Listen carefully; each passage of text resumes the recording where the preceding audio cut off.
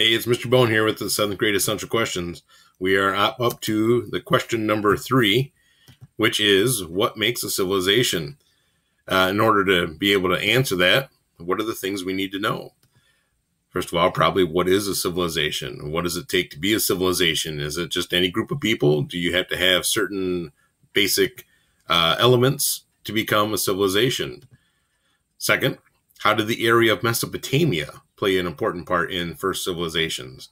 Mesopotamia, you say, well, where is that? That would be a good thing to know as well. Also, what were some of those names of the early civilizations in Mesopotamia? What kinds of things did they achieve? What did they do? Did they learn how to do things, invent things, etc.? We talked a little bit about this with the Maya and the Aztec last year, so this shouldn't be a brand new idea to you. Third, how does our civilization reflect parts of these early civilizations? Things like rules that they have. Do we still have rules like they had? What types of governments did they have? How did they set up their cities? And of course, because we are going to keep tying these essential questions together, what about their belief systems? We've talked about religion all so far this year. So, what was their religion like? And does the religion somehow still affect us?